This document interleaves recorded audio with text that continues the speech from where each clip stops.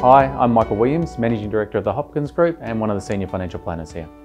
I joined the financial services industry 1st of May 1999. Um, sticks in my mind because it was effectively Labor Day.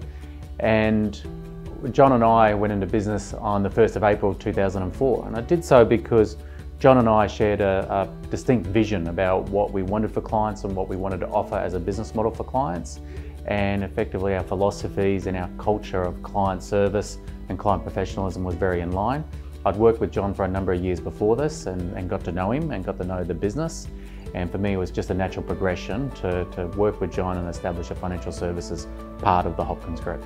I was originally a lawyer, and whilst working as a lawyer, what I realised was that I was at the pointy end, therefore, you know, helping people once they got themselves into trouble, and really because I had an interest in money and finance and wanting to really help people avoid that situation, I made the switch to financial services.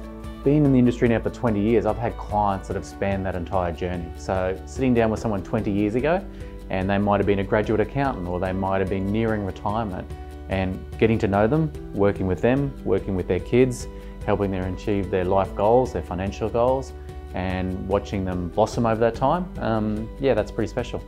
I'm lucky because I've got a varied role. I sit on the fence of looking after the business from an overall direction and perspective and I have a number of great department heads and leadership group that report to me and I enjoy looking at the strategic vision of the business and where financial services and the property industries are going as a whole. Um, but I like to interspace that with sitting with clients and actually being at the coalface of understanding what they want, um, the service that they need and what we can offer to help better their position. So I get to do best of both worlds.